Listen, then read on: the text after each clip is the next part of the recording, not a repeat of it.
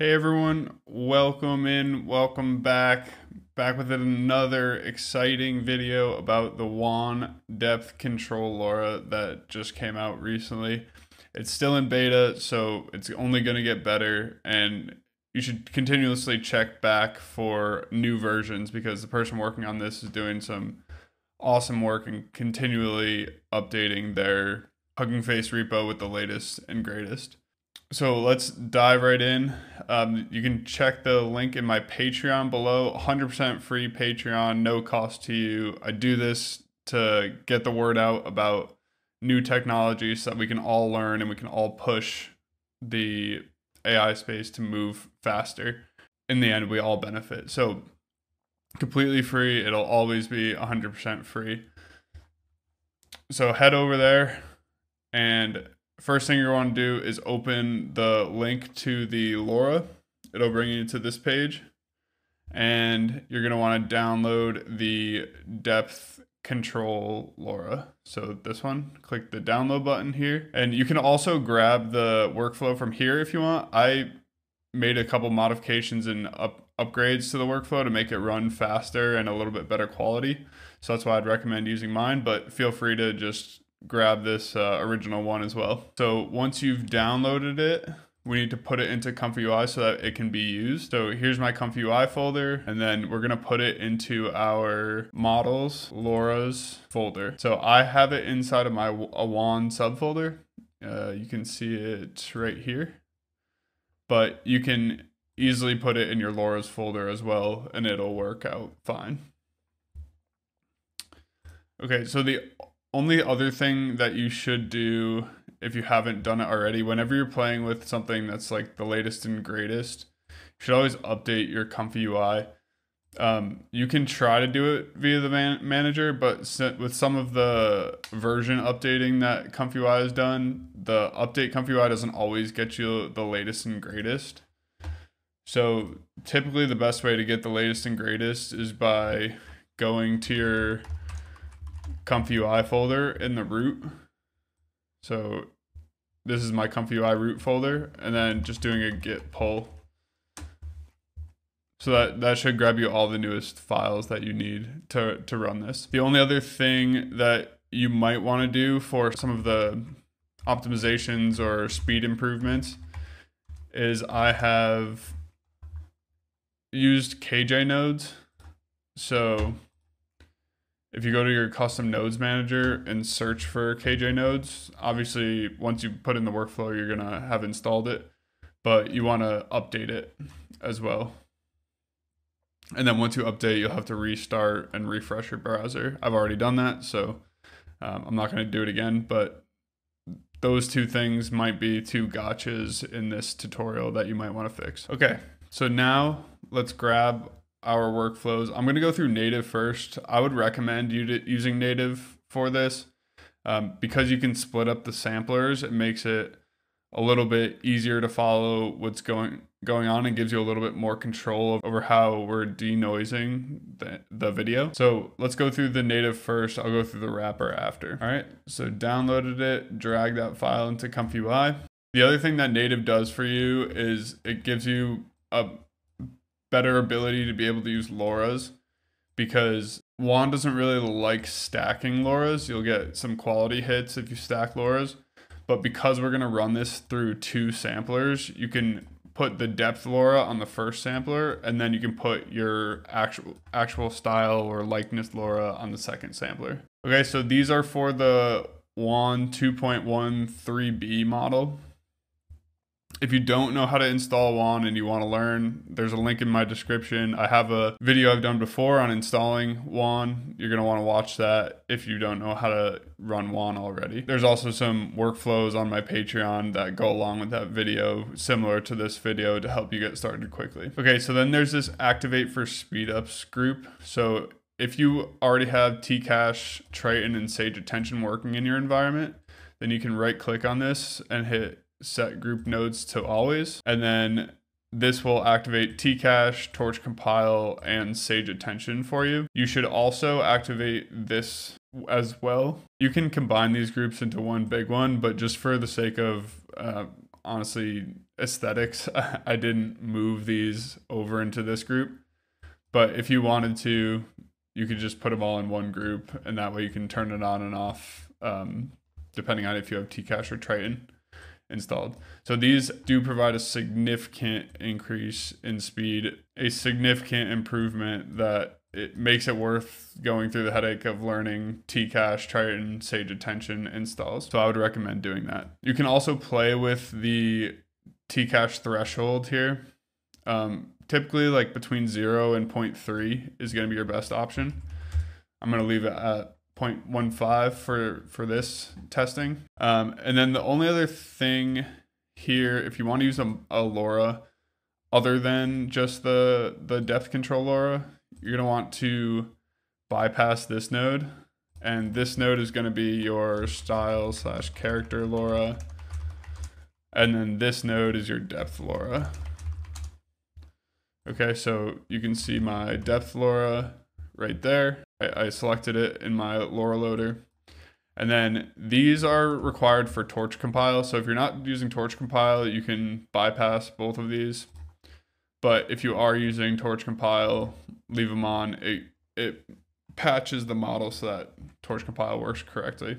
Okay, and then the only other things that be, because we're using a sampler custom instead of a regular K sampler, it kind of splits out all the settings.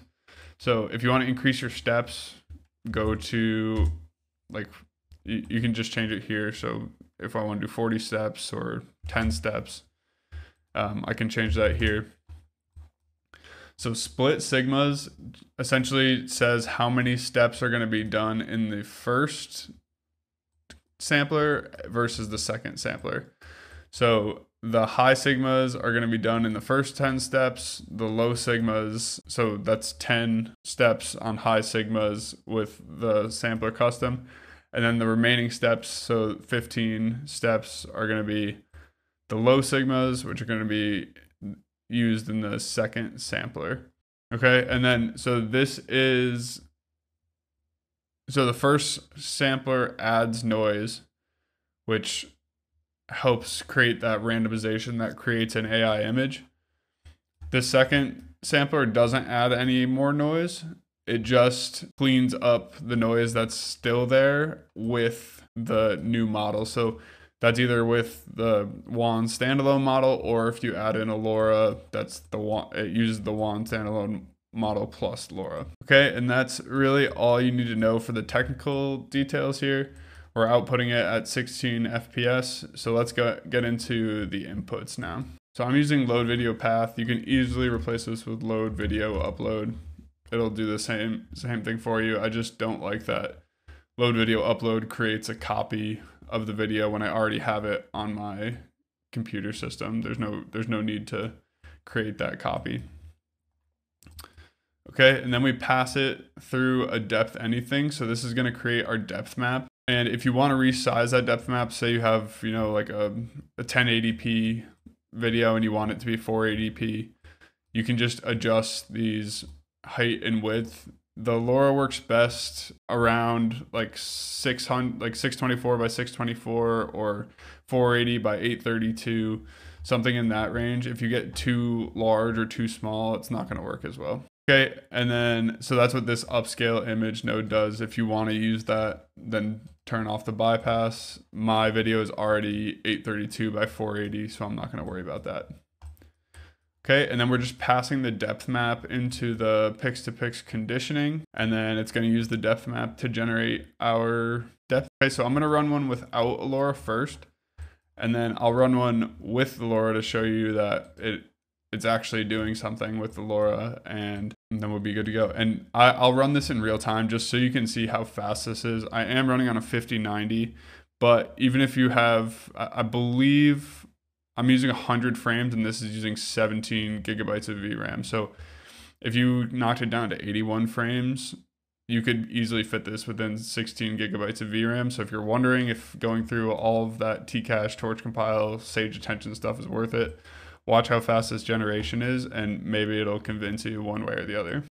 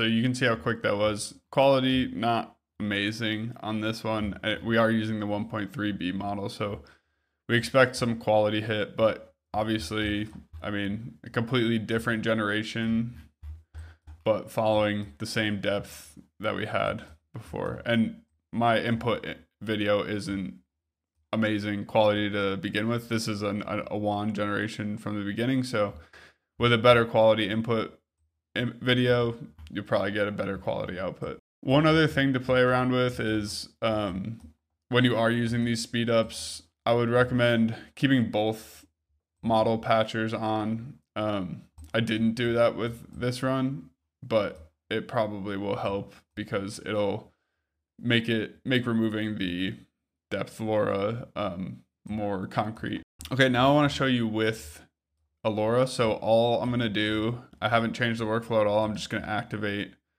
this flat color LoRa and we're to see the difference between our previous generation and our new generation. All right, so there you can see our old generation and our new generation only changing, only adding the LoRa in. You can see now we have this flat color instead of a more realistic style video. So pretty cool stuff there. Like I said, I recommend the native workflow. The only reason I would recommend using the wrapper is if you're really low on VRAM and you need like every single little little quantization and optimization to fit it, you know, like less than six or four gigabytes or something like that that's when I would recommend the wrapper over native. Okay, so with that said, let's head over to the wrapper and try that one out. Download the wrapper workflow and drag it in. Okay, so I have this video of a guy holding a sword here and I'm gonna change the prompt to, let's just say, a medieval knight holding a long sword. So how this works, Torch compiles up here. If you don't have torch compile working, you can just bypass it. It's going to take longer, but that's fine.